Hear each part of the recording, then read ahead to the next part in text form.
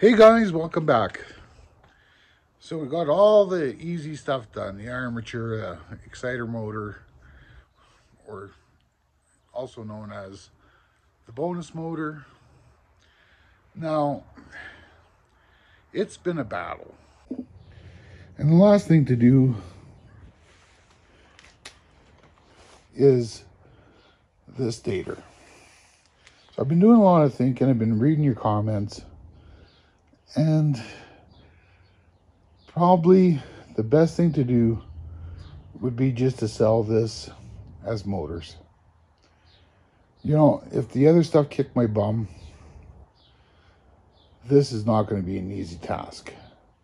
The walls are, as you can see, like inch and a half. They're welded to the stator core. And uh, I don't know like I say, the, the smart thing to do would be sell for motors. But that's what, but that's not what you guys came here for. You came here to see some copper. So, you know what? Forget all that. We're just going to do it anyways. That's right. We're going to take the copper out. I don't even care if it kills me it's coming out. Plan of attack is to cut those things off,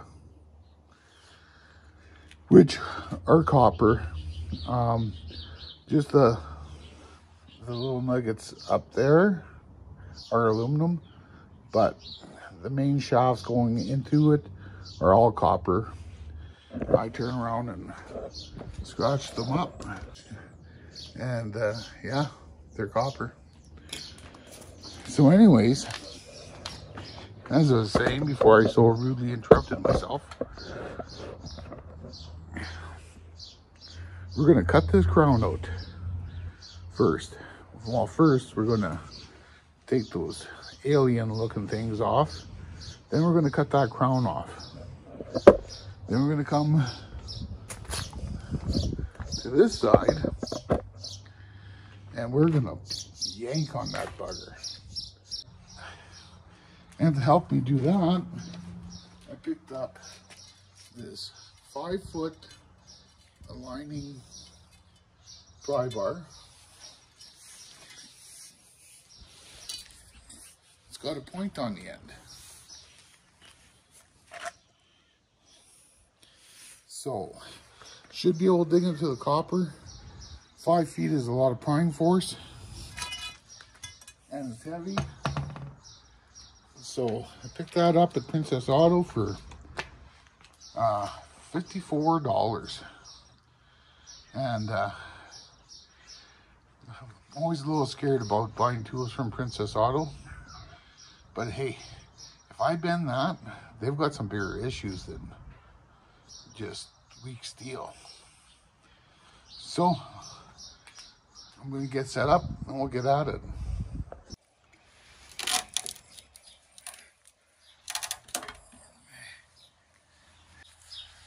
Copper in there.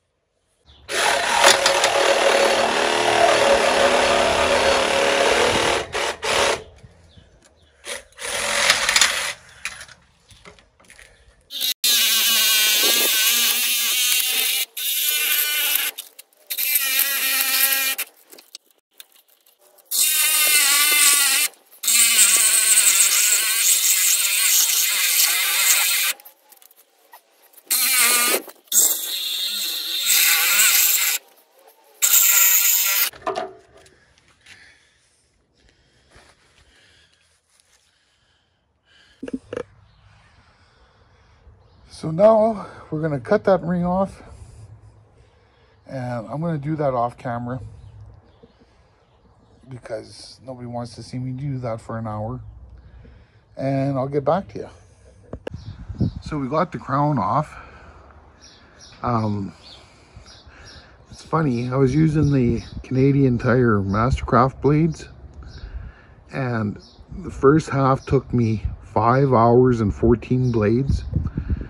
Second half I bought Lincolnson blades from Amazon and uh, it took um, 45 minutes and a half a blade to do the other side. So these are what the blades look like.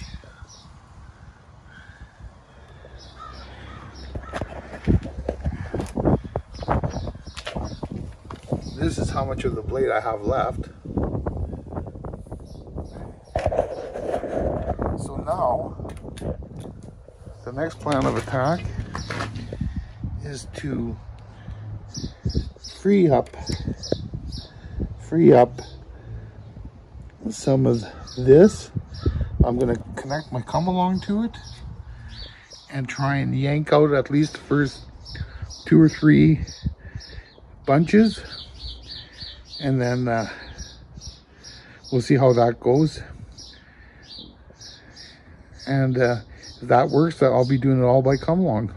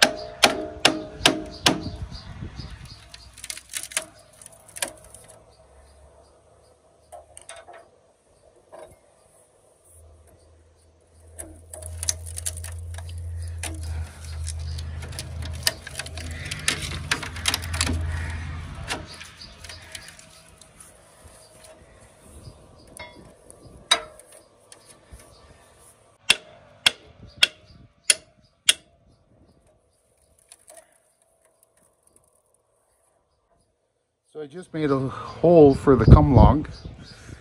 I'll slip the hook in there and see if we can't crank that out. So here goes the first attempt.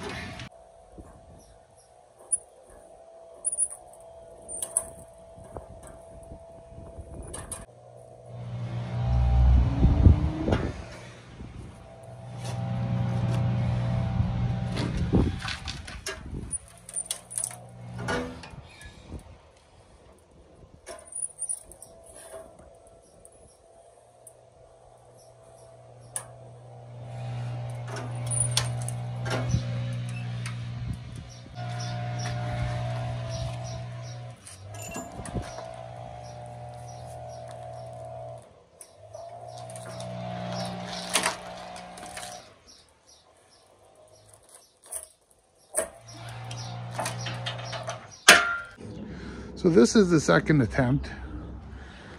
Put a shackle, a snatch block, hooked it up over there to come along. back to the frame, put this jacket in here so this, this cable decides to snap, it won't cut me in half. Use that fence post as uh, leverage for the come along. And this is the result.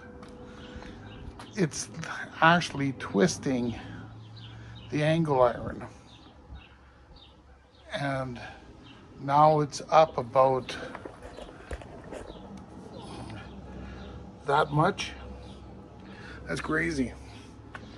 So I think what I need to do is try it from the bottom. There might be too much angle and maybe I'll re-rig for the bottom and uh, we'll try from there. It's crazy stuff. Well, I re-rigged and I pulled from the bottom instead. I pulled from the bottom instead and I got one side out. So that's not exactly what I wanted. I'm still taking it as a success. I'm thinking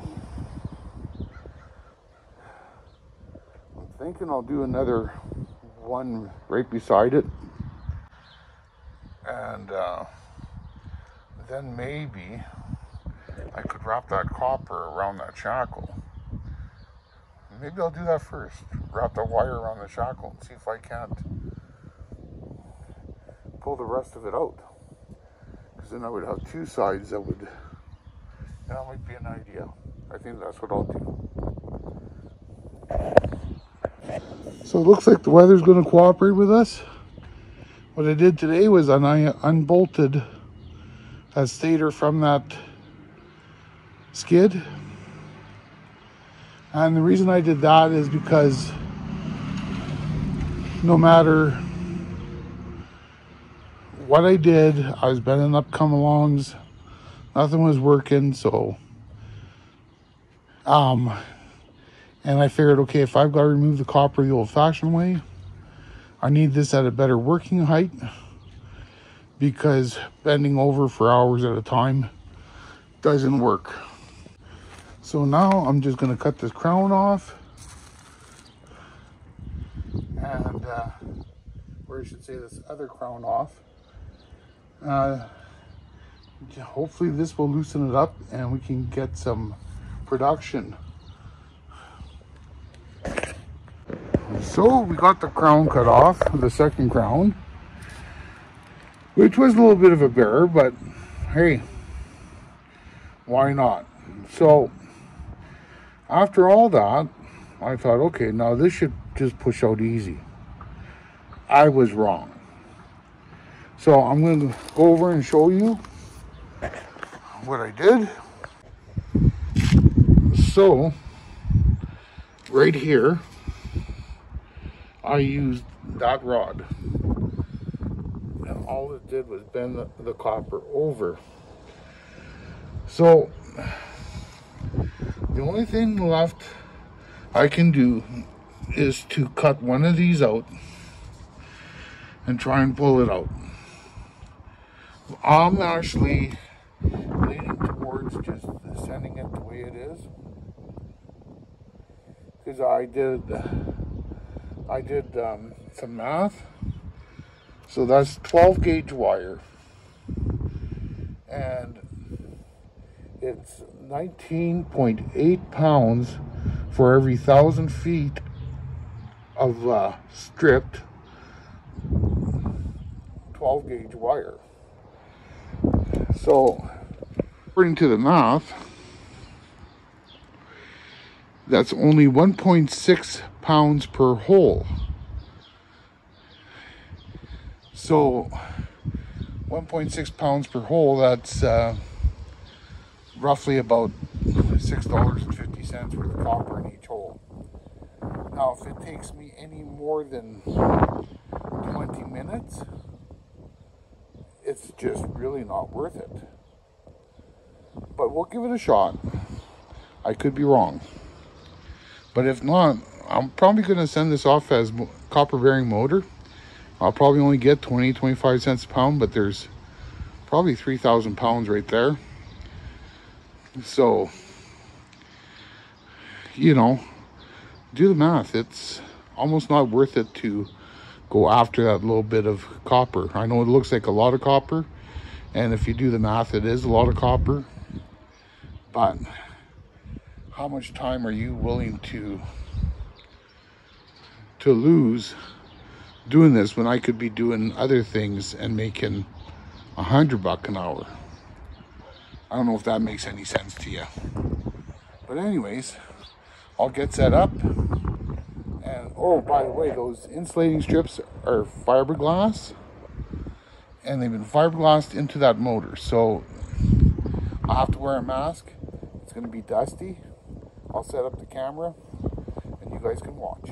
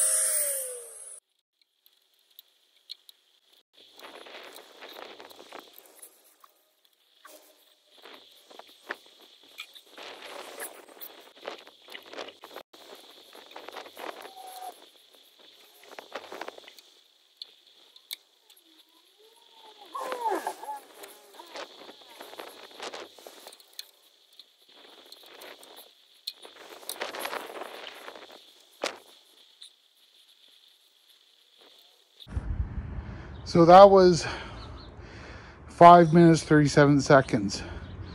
I got four and a half strands out. It started breaking. I've already cut myself. It's too dusty. So, apologize to y'all, but the rest of this is going to the scrapyard. I'm just going to clean up the little bit of wires I can get at and that would be the end of that. Um, like, if you guys have any suggestions, I'll have it around for a couple days.